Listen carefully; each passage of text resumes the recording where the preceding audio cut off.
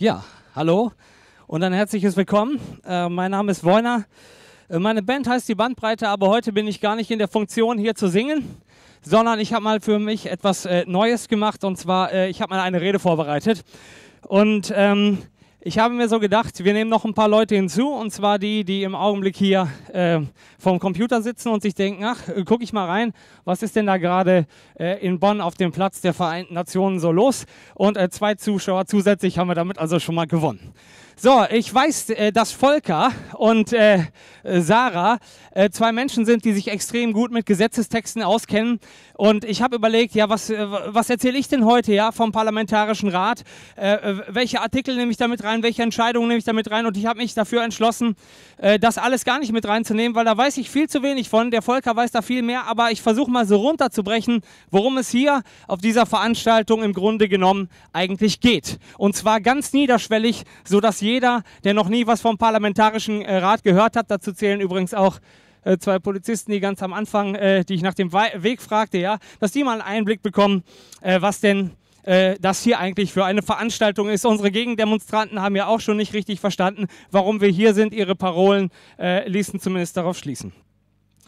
Vor 70 Jahren tagte erstmals, und zwar auf den Tag genau, der Parlamentarische Rat. Und das sind die Väter unseres Grundgesetzes. Ja, zu den Vätern des Grundgesetzes muss man ergänzen, da zählen auch Frauen dazu. Ich glaube, es waren noch sechs Frauen dabei. Insofern waren es die Väter und Mütter des Grundgesetzes. Und ähm, das Grundgesetz, das wissen vielleicht manche überhaupt gar nicht, das ist die Basis aller anderen Gesetze, äh, die in Deutschland beschlossen werden. Und da gibt es, glaube ich, 186, ist das richtig? Wie viele?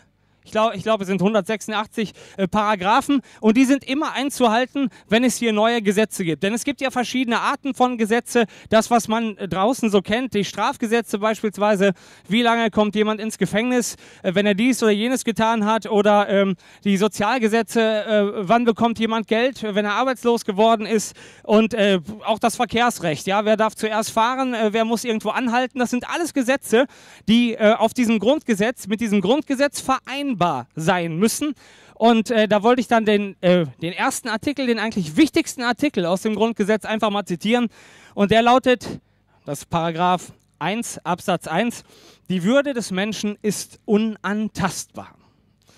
Sie zu achten und zu schützen ist die Verpflichtung aller staatlichen Gewalt. Nun, die Würde, was ist das? Was ist die Würde? Das, das sagen wir immer so, ja. Viele wissen das vielleicht auch gar nicht. Also ein würdevolles Leben zu führen bedeutet, dass niemand einfach zu mir kommen kann und mir eine Backpfeife gibt und mir sagt, du bist ein doofes Arschloch oder du bist ein Nazi oder du bist äh, ein scheiß Ausländer. Ja, das sind Beleidigungen und die dürfen dir einfach nicht widerfahren, weil du in diesem Land laut diesem Artikel das Recht hast, ein würdevolles Leben zu führen. Das heißt, als Mensch respektiert zu werden. Ja? Es, kann ein, es kann nicht einfach irgendjemand zu dir kommen und dir eine Backpfeife geben ja? oder dich beleidigen. Das funktioniert in diesem Land nicht. Ähm, dafür ist eben dieser Artikel da.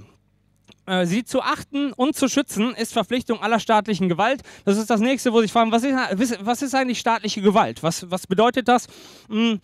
Ein Teil staatlicher Gewalt steht hier gleich äh, zu meiner Linken. Das sind die Polizisten. Die sind im Prinzip der verlängerte Arm, äh, ja, der eigentlich unserer Regierung. Ja, ähm, die sind Teil der staatlichen Gewalt. Unsere Polizisten müssen sich also ans Grundgesetz halten. Aber wir haben noch viel mehr Gewalten äh, in diesem Land. Das sind nicht nur die Polizisten, sondern wie ich gerade sagte, vor allem die Regierung. Also die direkt Sachen beschließt, wie zum Beispiel, äh, äh wir gehen jetzt mit der Bundeswehr nach Mali. Ja, das ist eine Entscheidung und diese Entscheidung muss auch im Rahmen des Grundgesetzes liegen, genauso wie das Verhalten der Polizisten auch grundgesetzkonform, also nach dem Grundgesetz sein muss es gibt da natürlich noch mehr. Es gibt äh, Gerichte in diesem Land, ne? denn wenn es zu Streitigkeiten kommt, das weiß man ja, dann entscheiden Gerichte, ähm, äh, wer dann Recht hat und wer Unrecht hat. Und auch diese Gerichte müssen sich äh, im Rahmen des Grundgesetzes äh, verhalten. Ja?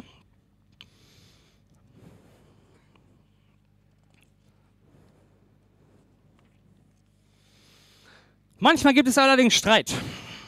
Streit zwischen Bürgern und Politikern oder äh, unter Politikern, ja, die ähm, äh, sich fragen, ob die Gesetze, die in unserem Parlament beispielsweise, das ist übrigens auch eine Gewalt in unserem Land, das sind die, die, die man so gemeinhin als die Politiker im äh, Berliner Reichstag, im Deutschen Bundestag kennt, die stimmen ab über Gesetze. Die stimmen manchmal auch ab äh, darüber, ob wir in den Krieg ziehen, aber vor allem stimmen die ab über Gesetze. Und diese Gesetze müssen ebenfalls innerhalb ähm, des Rahmens, die dieses Grundgesetz uns aufgibt, äh, ja, liegen. Ne? Ansonsten müssen diese Fälle vor das Bundesverfassungsgericht. Ja, das ist also das Gericht, da haben wir ein Extragericht in Karlsruhe und das äh, trägt Sorge dafür, dass alle Gesetze, die beschlossen werden und all diese vielen staatlichen Gewalten, äh, die in diesem Land starke, starken Einfluss haben, ähm, äh, dass die sich eben nach unserer Verfassung, nach unserem Grundgesetz verhalten. Und äh, wenn man sich da nicht sicher ist, ist dieses jenes äh, Gesetz äh, grundgesetzkonform, ja, oder ist diese Entscheidung grundgesetzkonform, dann wird eben dieses Verfassungsrecht angerufen. Und das hat dann darüber zu entscheiden, wie das Ganze letzten Endes ausgeht. Und das Bundesverfassungsgericht ist eben vor genau 70 Jahren mit dem Parlamentarischen Rat gegründet worden. Es ist genau 70 Jahre her, am, äh, am 1. September. Da sind diese Menschen zusammengekommen und haben dieses wunderbare Grundgesetz nach einer Schreckensherrschaft der Nazis für die Deutschen geschrieben. Ja? Und sie haben auch ein paar tolle Sachen gemacht. Sie haben zum Beispiel die Vorratsdatenspeicherung gekippt. Die wenigsten, äh, die ein Handy besitzen, wissen, dass sie mit ihrer SIM-Karte eigentlich ständig von ihrem Mobilfunkanbieter verfolgt werden und dass man mit so einem Handy, wo es sich auch immer gerade befindet, immer nachvollziehen kann, wo ihr gewesen seid. Ja? Das ist natürlich eine Sache, ähm, die ist äh, äh, durchaus bedenklich. Ja? Und jetzt hat das Bundesverfassungsgericht zu unseren Gunsten gesagt, das ist jetzt verboten, sowas äh, aufzuheben und sowas zu speichern. Das dürft ihr nicht mehr machen, ja? Weil ihr könnt nicht einfach jeden unschuldigen Bürger verfolgen und äh, seine, seine komplette Bahn, wo der hinläuft, ja, wer weiß, in welchen Etablissements der sich bewegt, ob seine Frau damit einverstanden ist, das ist sein gutes Recht, sich da zu bewegen, wo er will. Und ähm, das zu verhindern, äh, dass man gläsern wird, ja, dass jeder Bürger nachverfolgbar ist, das hat beispielsweise das Bundesverfassungsgericht gekippt und gesagt, diese Speicherung ist verboten.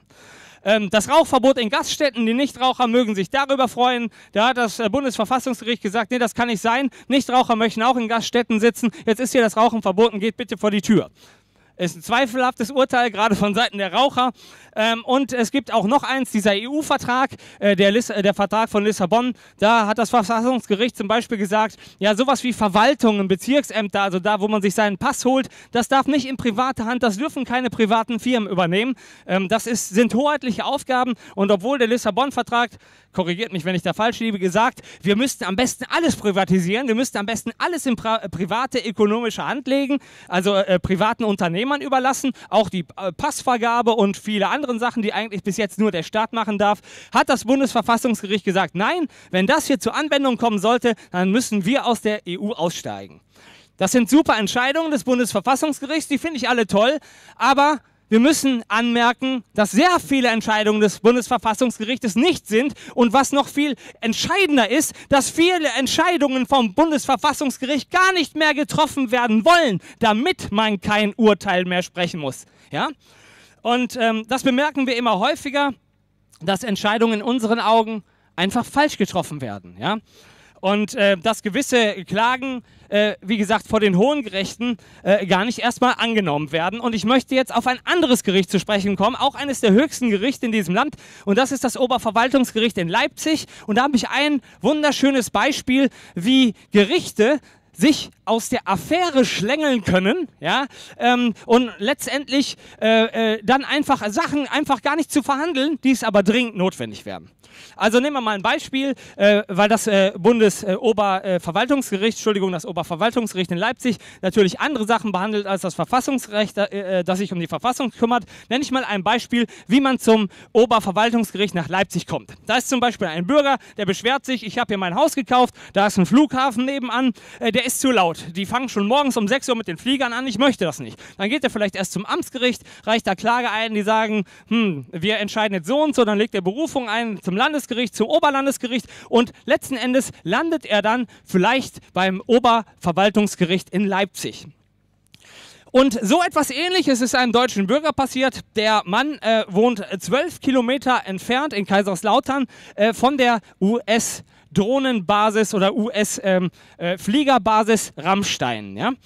Und der hat gesagt, es kann ja wohl nicht sein, hier zwölf Kilometer von mir entfernt in Rammstein-Miesenbach, da sitzen die Amerikaner und starten ihre völkerrechtswidrigen Drohnenmorder. Für alle die, die es nicht wissen, ähm, es gibt auf deutschem Boden eben diese US-amerikanische Airbase und wenn die mit Drohnenangriffen Leute töten wollen, ähm, dann schaffen die es von Las Vegas aus nicht diese Drohnen zu steuern, weil die Erde ja bekanntlich äh, rund ist und es braucht sozusagen wie bei eurem WLAN, wenn ihr hinten im Garten sitzt, einen Repeater, um diese Funksignale und äh, auch Bildsignale, die die Drohne sendet, eben zurück in die Basisstation zu schicken. Und da ist äh, Rammstein-Miesenbach so ein Relais, ja? also eine, eine Verstärkerstation, die die Funksignale für diese Drohnen weitergibt.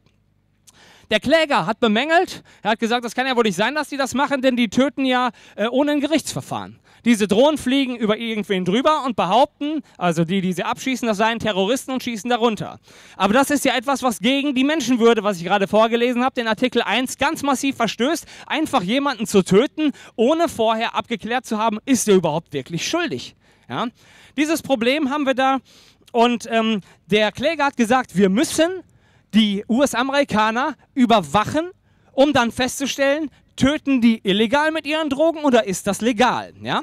Und normalerweise, ja, jeder gesunde Menschenverstand, ich habe es euch gerade äh, vorgelesen, ich wiederhole es, ich lese es nochmal vor, damit ich es auch wirklich zitieren kann. Die Würde des Menschen ist unantastbar. Sie zu achten und zu schützen ist die Verpflichtung aller staatlichen Gewalt.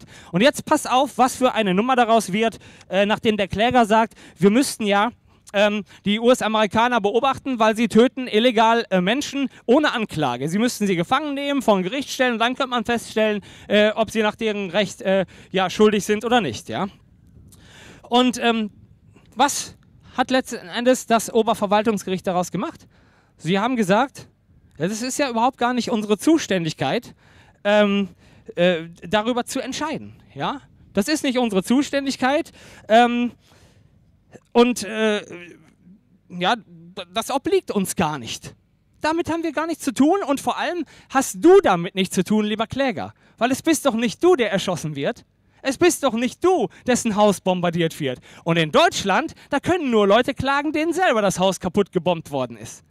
Das ist ungefähr so, als würde in eurer benachbarten Grundschule ein Amokläufer ein Blutbad unter den Grundschülern anrichten, 30 Menschen töten und dann an der Polizei vorbei mit seinem rauchenden Colt äh, auf den Schultern äh, den Ausgang passieren. Und äh, du läufst dann zum Polizisten und sagst, Herr Polizist, der Polizist, das ist der Mörder, verhaften Sie den. Und dann fragt der Polizist dich, sagen Sie mal, war Ihr Kind auch hier auf der Schule?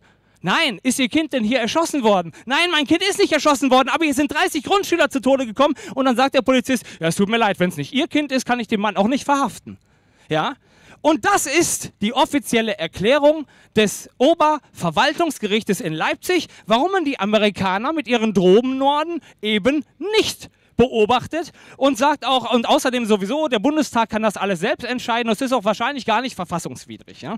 Und an dieser Stelle, wenn ich dieses vergleichende Beispiel mit dem Amoklauf bringe, dann fangen Leute auf einmal an zu merken, oh, Gerichte, die versuchen sich zu drücken. Und so war es auch bei Volker und bei Sarah bei ihrer Klage gegen den EU-Vertrag, äh, weil nämlich, wenn ein großkopferter Politiker daherkommt, wer ein Peter Gauweiler oder wer da sonst noch Verfassungsklage äh, äh, in Karlsruhe gegen den Lissabon-Vertrag gestellt hat, dann ähm, nimmt man die Klage an, aber kommt der kleine Mann, dann kann das Bundesverfassungsgericht äh, sagen, nö, das möchten wir einfach nicht verhandeln.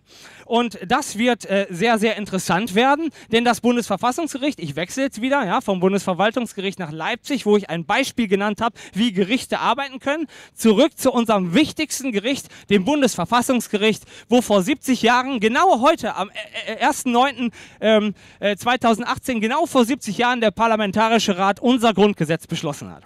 Und zwar geht es darum, dass im Augenblick eine Klage vorlägig ist. Das war vor ein paar Jahren noch gar nicht so sicher. Da hat die Linkspartei gesagt, ähm, wir reichen jetzt mal eine Klage an. Was war da los? Die wenigsten wissen es, deshalb erzähle ich das auch nochmal. Im Augenblick sind deutsche Soldaten wieder im Krieg. Also wie im Zweiten Weltkrieg sind wir jetzt auch gerade wieder im Krieg. Nur der Unterschied ist, hier wird nicht bombardiert. Wir merken also nichts von dem Krieg. Aber unsere Regierung, in dem Fall die CDU und die SPD, die haben einen Krieg angefangen und zwar in Syrien.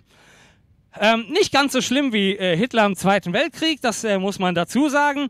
Ähm, aber wir haben immerhin eine deutsche Fregatte Sachsen oder ist es die Hessen? Ich weiß es gerade nicht. Eine von beiden steht auf jeden Fall im Mittelmeer vor der syrischen Küste und schießt nicht auf Syrien, aber hat eine Flugabwehr installiert und bewacht eine französische Fregatte, die wiederum auf den, äh, das syrische Land schießt, von See aus. Ja? Das ist also höchst bedenklich, weil wir sind aktive in dieser Kriegshandlung und wir helfen den Franzosen aktiv dabei, ähm, Syrien zu bombardieren. Des Weiteren sind deutsche Tornados gegenwärtig im syrischen Luftraum befindlich und machen Fotos. Sie werfen da keine Bomben ab, sie schießen auch keine Flugzeuge ab, sie machen nur Fotografien, um den Amerikanern, Franzosen und den anderen NATO-Staaten, die mit uns zusammen in Syrien Krieg führen, zu sagen, da könnt ihr eure Bomben hinwerfen. Wir sind also aktiver Kriegsteilnehmer, ganz abgesehen davon, dass wir von unseren NATO-Partnern auch mit einem Tankflugzeug in der Luft äh, äh, andere äh, Düsenjäger aufladen können, die dann aber äh, bombardieren. Ja? So, also, äh, jetzt sagt aber die Bundes, die Linken sagen, das ist nicht okay und die Bundesregierung sagt, doch, das ist okay. Wir kämpfen dann nämlich gegen den äh, islamischen Staat und wir kämpfen gegen den Staatschef Assad. Und ähm, die CDU und die SPD, die diesen Krieg beschlossen haben, ähm, äh, also die Linkspartei sagt, dieser Krieg ist ganz eindeutig verboten. Assad hat uns nicht angegriffen. Wir stehen hier auf dem Platz der Vereinten Nationen. Wir unterliegen auch dem UNO-Recht und das sagt Gewaltverbot. Du kannst nicht einfach jemanden bombardieren, der dich nicht angegriffen hat. Das heißt, streng genommen äh, dürften deutsche äh, Soldaten in Syrien nicht Krieg führen. Laut UNO-Recht und lau auch meines Erachtens äh, zumindest laut unserem Grundgesetz, weil Assad hat ja keine einzige Kugel auf uns abgefeuert. Ne? Das ist auch die Argumentation der Linkspartei. Äh, hingegen äh, sagt die CDU und die, F äh, die, SPD, die diesen Krieg äh, äh, beschlossen haben, dass deutsche Soldaten in Syrien in den Krieg ziehen, das ist ja nicht richtig. Wir kämpfen ja nicht nur gegen Assad, wir kämpfen ja auch gegen ISIS und ISIS hat uns ja angegriffen. Dann sagt die Linkspartei wiederum, ja, aber ISIS ist kein Staat. Du kannst nicht einen Krieg gegen einen Staat, Syrien, führen, wenn der Staat dich nicht angegriffen hat. Ja, wenn jetzt hier irgendwie eine Horde Bandidos äh, anfängt, irgendwie eine Kneipen Kneipenschlägerei anzuzetteln, betteln und dann sagen die Italiener jetzt, äh, guck mal, die Bandidos, die haben da eine Kneipe in Deutschland verwüstet, jetzt fliegen wir mal mit Militär rüber und bombardieren die Bandidos platt und nebenbei aber auch äh, diverse Innenstädte, weil man nie weiß, wo die sich noch versteckt hätten. Das ist die gleiche Logik, ja? Also äh, da reinzugehen und zu sagen, wir bombardieren jemanden, der uns nicht wirklich was getan hat, wir behaupten, der ist da, das ist ISIS, die sind auch da, aber die haben ja gar nichts mit Syrien zu tun. Trotzdem bombardieren wir in Syrien, ja? Und äh, die CDU und die SPD sagen, man darf sich natürlich verteidigen und so weiter und so fort. Und da haben wir das, was ich eingangs beschrieben habe. Da sind zwei politische Parteien im Deutschen Bundestag und die streiten sich jetzt darüber, was ist denn jetzt richtig? Und verstößt das nicht gegen das Grundgesetz, einfach ähm, ja, da rüber zu fliegen und äh, zu bombardieren. Ja? Es ist eine sehr interessante Frage, die vor dem Bundesverfassungsgericht äh, aufgegriffen werden wird. Ich habe allerdings äh, um 2015 noch Artikel aus der Taz gefunden, die haben gesagt, nee, das ist ja gar nicht möglich, denn es gibt eine wunderschöne Möglichkeit, äh, wie sich das Bundesverfassungsgericht raushalten kann. Und äh, der Tagesspiegel war es übrigens. Und der Tagesspiegel hat geschrieben, ja, es gab ja schon mal eine Entscheidung, da hat die Regierung Soldaten einfach in den Kosovo-Krieg geschickt. Ja?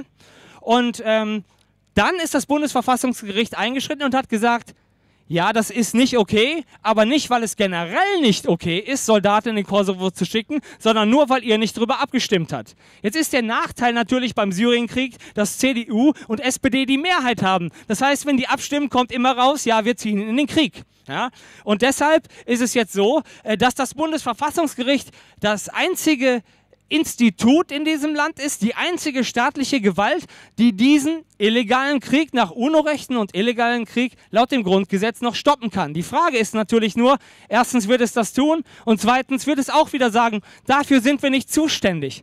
Denn ich habe das Gefühl, dass Gerichte in diesem Land ganz gerne, wenn sie unangenehme Entscheidungen treffen sollen, die sich gegen die herrschende Meinung richten, wie zum Beispiel den Syrienkrieg, einfach sagen, hoch, da bin ich gar nicht zuständig für. Ja, und das passiert eben beim Bundesverfassungsgericht unter anderem dadurch, dass sie sagen, nee, die äh, Klage lehnen wir ab. Und äh, wie Volker und Sarah, die ja als ganz normale Bürger in diesem Land solche Klagen schon angestrebt haben, äh, brauchen die das auch nicht mal zu begründen. Da sieht man wieder, dass die politische Obrigkeit in diesem Land hofiert wird und der einfache Bürger, der sagt, ich will eine Beteiligung, ich will mit abstimmen, ich will vielleicht mal eine Volksentscheidung, es steht im Grundgesetz alles drin. Warum stimmen wir nicht über den Krieg ab? Ja, warum stimmt das deutsche Volk nicht über den Krieg ab? Ich denke, dann würden wir nicht in den Krieg ziehen. Ja, und ähm, warum passiert das? Dankeschön. Warum passiert sowas und warum hat das Bundesverfassungsgericht nicht die Traute zu sagen, äh, wir fällen jetzt hier an dieser Stelle ein Urteil? Und dann komme ich zurück, warum wir heute hier sind, was unsere Gegendemonstranten ja leider überhaupt gar nicht verstanden haben, nicht mal im Ansatz. Ähm, diese Rufe, die ich gehört habe, die hatten wirklich gar nichts damit zu tun, denn wir stehen ja hier, weil wir diese, dieses Grundgesetz, unsere verfassungsrechtliche Ordnung nach dem Zweiten Weltkrieg begrüßen, weil wir es super finden, dass dieser Parlamentarische Rat zusammengekommen ist, um das für uns zu machen. Ein, ein wunderschönes äh, Gesetz, das allen Menschen hier die Möglichkeit gibt, in Frieden und Freiheit und Liebe Liebe miteinander zu leben, ohne Angst haben zu müssen. Ja? Und das ist der Grund, warum wir hier stehen, denn ähm, diese Abweisung dieser Klagen, die dürfen nicht sein. Und es äh, kann nicht sein, dass man einfach sagt, das ist unbegründet oder, oder der, der äh, verantwortliche Richter im Verfassungsgericht noch sagt, ich habe keine Zeit, ich muss jetzt zur Uni. Ja, und das ist die Realität, Leute. Ja, das ist eine Verhunzung, ja, eine Verhunzung dieses wunderbaren Grundgesetzes, das zur Anwendung gebracht werden muss, weil dann geht es allen gut, wenn es zur Anwendung äh, gebracht wird. Und ja, darum stehen wir hier Darum demonstrieren wir auch, wenn wir nicht viele sind. Und darum habe ich auch diese Kamera äh, von der Facebook-Seite meiner Band, der Bandbreite eingeschaltet, damit ein paar Leute zuhören und dieses Wissen vielleicht verbreiten. Und äh, dass man nicht direkt kommen kann mit, äh, mit allen möglichen Paragraphen und warum dies und jenes so ist, dafür habe, habe ich aber den Volker und das ist total super, weil der macht dann die harte Arbeit im Schlamm und ich darf dann nur noch die netten Ergebnisse präsentieren und sie ganz simplifiziert den Menschen da draußen mitteilen. Ich möchte aber auch noch etwas sagen. Ich bin natürlich ein Freund der Demokratie.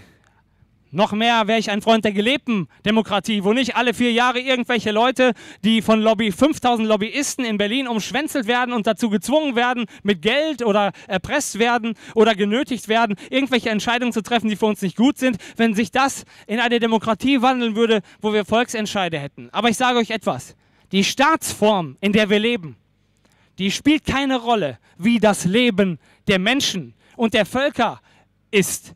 Es spielt keine Rolle, ob ich in einem Königreich bin, ob ich in der Anarchie lebe oder in einer Demokratie oder gar in einer Diktatur. Denn wie die Lebensumstände in den Ländern sind, das können wir nur selbst als Kollektiv bestimmen.